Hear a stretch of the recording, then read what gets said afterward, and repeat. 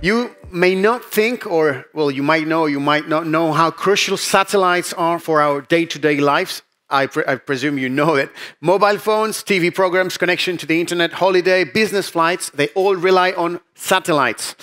Our next speaker will present a successful use case that involves solving a satellite planning problem on a quantum processing unit.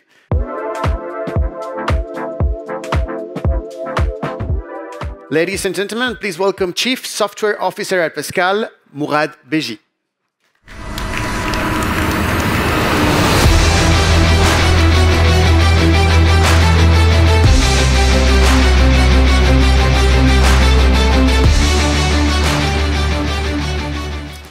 Hello, everyone. Uh, nice to meet you. So my name is Mourad, and I'm in charge of software and application development at Pasqal. Um, Today I'm going to tell you about how we did mission planning for satellite constellations on Pasqal QPUs with our partner Thales. So the problem we're interested in today belongs to the category of combinatorial optimization problems and is representative of many of the hard computational problems one can face in industry. Combinatorial optimization consists in finding uh, a solution, an optimal solution in a very large set of options. These problems are usually expressed as a set of options, a metric to optimize, a set of constraints to respect, and the goal is to find the solution that optimizes the metric while respecting all the constraints. The issue is that the search spaces grow exponentially with the sizes of the inputs, which makes these problems very hard computationally to solve. Today, corporates often use greedy approaches or domain-specific heuristics um, for their solutions, but these are often limited in terms of either performance or quality of the results. A few applications of combinatorial optimization that are crucial in a few domains are supply chain, resource allocation, network design, scheduling, which is um, our uh, application today, or portfolio optimization. The problem we are interested in today is uh, planning missions for satellite constellations. Uh, this use case was co-developed by Thales and Pasqal in the scope of the quantum computing for Earth observing uh, for Earth observation study. So, we have at our disposal uh, multiple satellites orbiting around Earth, each containing an observation instrument, um, a sort of camera. Each satellite has a trajectory that is well defined by its orbit, and during a day it will cover a certain region of Earth. On the other hand, a given number of observations are requested by clients, and the problem we're trying to solve is to maximize the number of observations made in a single day by the entire fleet of uh, our satellites. The objective of this project is planning the movements of the observation instruments on the multiple satellites during the day. Um, so in order to reach this objective, we need to, uh, of course, respect a few constraints related to each satellite and to its environment. The first one is that satellites are equipped with optical instruments. So they cannot take pictures during the, during the night, and they can take pictures only when they fly over regions where there are no clouds. The second one is that the quality of the images must be ultra high resolution, so that means that the observation instruments need to move slowly enough from one position to the other. Then client requests also have different priorities, and it's important to favor the requests, the missions with higher priority uh, against the ones with lower priority. And finally, the plan that we compute must be flexible. We need to be able to adapt to new requests during the day so it is important to be uh, not real time, but to be able to be fast enough. In addition to all these constraints, the complexity of the problem also grows with the number of satellites we're taking into account. Um, so we can see here the difference between one and three satellites uh, flying over the same region. Um, the number of uh, data take opportunities we have with three satellites is much higher. So we're able to cover the region uh, much better but this comes at the cost of uh, more complex calculations because more decisions need to be made. So the problem I just presented is uh, a computationally complex optimization problem. um, the problem is to assign missions to satellites. The metric we're trying to optimize is the number of missions uh, fulfilled, and the constraints we need to respect are the one I just uh, mentioned earlier. Taking all this into account, finding an optimal solution is extremely hard. Many approximate algorithms exist for this type of Earth, Earth observing satellites. And in order to solve this problem, Thales uses today uh, a greedy method combined with uh, domain-specific heuristics in production. Um, during our exploration, we started by understanding the classical high-performance methods used for this type of problems. And we came across a method that was recently developed that maps this scheduling problem into finding maximum independent sets and graphs. And this led us to design our solution. We leveraged the work done by these optimization experts for this scheduling problem, and that has shown improvements in both the solution time and in the numbers of scheduled missions beyond baseline methods. And we combine that with the method we developed at Pasqal to efficiently find maximum independent sets on graphs. So, how do we solve this problem with graphs in practice? Um, let's take a look a bit uh, into the technical details.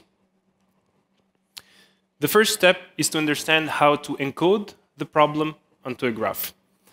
A node in our graph is going to represent a specific mission fulfilled at a specific moment.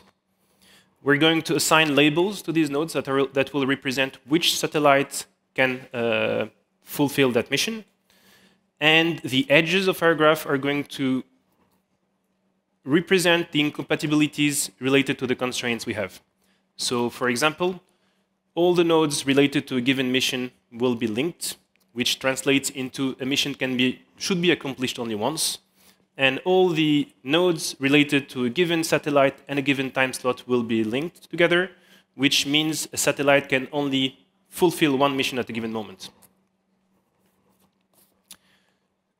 so this uh, nice graph is an example that represents uh, a constellation of 12 satellites visiting a set of cities, and this is the graph we use for our use case. This is a synthetic example. Um, we actually took the uh, orbit of the International Space Station, shifted it 12 times, and uh, used various cities on Earth uh, as observations. So now that we have encoded our problem into a graph, how do we solve it? Remember, what we're trying to do is maximize the number of missions that are accomplished. And we say that the mission here is a node. So we're looking for the biggest set of nodes that respects our constraints. And the constraints themselves are edges. So what we are looking for in the end is the biggest set of nodes such that, such that no two nodes share an edge. And this is called a maximum independent set. For our graph, for example, using a classical heuristic method, uh, we can see here uh, a maximum independent set. So it's a feasible solution to this problem with uh, the red dots. It appears that neutral atoms QPUs are good at finding maximum independent sets. Thanks to a highly flexible architecture, we can change the shape of our quantum register from one quantum program to the other and we can directly reproduce the connectivity of a graph with our atoms. This is a real, really powerful feature and makes our devices good at treating graph problem in general and this problem in particular. As an example, um, this is the embedding of a random graph on the left into a quantum register on the right, and each individual dot here represents a single atom trapped in an optical tweezer. Once we have prepared our quantum register, Rydberg dynamics can be leveraged to encode uh, naturally the constraints of, the, of a problem um, and evolve the system towards a solution. Oh, sorry for the equation. Um, we can see here, for example, that after our quantum program, the state of the system represents a maximum independent set of a graph. And we can directly uh, the, from the graph we had uh, on the previous slide, get a maximum independent set, which is uh, with the colored nodes here. In order to solve these types of problems, we operate our devices in the analog mode. Um, instead of designing complex uh, and large quantum circuits made of many gates, we uh, leverage the natural dynamics of our systems and map the problem directly on these dynamics. By letting our quantum system follow what it is naturally designed to do, we are able to perform computations uh, more efficiently, and in, in particular, we're able to be much more resilient to errors and noise. This is a very important feature for today's devices, um, as the ecosystem is still struggling into having large enough systems to implement efficient error correction uh, for digital circuits. So as Heather West was mentioning earlier, we would need millions of qubits to be able to do something uh, practical today with digital, while with analog we're already able to treat practical problems today. So now we know how to find maximum independent sets, I hope. Um, let's go back to our original problem and try to solve it. So the initial graph we had is made of 400 nodes. Um, using our maximum independence set solver, one would need 400 qubits to have the solution. As Loic was uh, showing you earlier on our roadmap, these scales will soon be available on our uh, hardware products. But we still wanted to solve this problem today. So the approach we had was to split our large graph into a, a set of smaller ones. The idea was to split it into subgraphs that are as independent as possible. We then solved our maximum independent set problem for each one of these subgraphs, and we merged the solutions using some heuristic rules to fix conflicts in the final solution. From our initial large graph that was too big to be implemented, we derived 300 smaller graphs of up to 25 nodes, and we then used our MIS solver to compute to find maximum independent sets for each one of these subgraphs. So here are the results uh, of these um, runs, and we can see that with high probability, we always end up finding a maximum independent set for each of these graphs. And in the few cases where we could not, we end up with a large enough independent set that still leads us to a feasible solution. So if we look at what happens for a given graph, uh, we start on the left with the original graph that we got. Uh, we compute a good uh, embedding on our quantum register at its right. I think some colors are missing, but um, we then run our MIS solver uh, and get a bunch of potential MIS candidates uh, from the different samples we have from measuring our system. And we can then pick the right one and transpose that uh, to our original graph. So during this project, we used a state-of-the-art method combined with our quantum maximum independent set solver, and we managed to solve a real-world industrial problem, and that has been implemented on a QPU today. At this stage, classical methods still, uh, are still ahead in terms of raw performance, but with uh, what Loic shared earlier about our roadmap, we believe that this type of method can be competitive uh, soon. And our partners at Thales, and with, with our partners at Thales, we are preparing the next steps to scale up the operational use of this quantum approach to satellite constellations mission planning. At Pasqal, we're building up years of R&D into uh, quantum algorithms and turning that into a portfolio of quantum solvers in various areas. Uh, optimization, partial differential equation solving, machine learning, quantum simulation, each time we collaborate with a new partner, a new client on a new problem, we can leverage our existing solutions. So the project I presented today was based on a maximum independent solver, but during the first stages of the project, we explored other approaches in optimization before converging towards this one.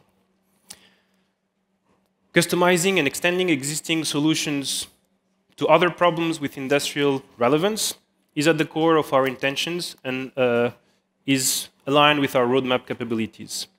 With our partners at Thales, we will start exploring other Thales applications where this quantum multi-constraint scheduling algorithm can bring value. And we're interested in doing so with our other partners and clients. Thank you.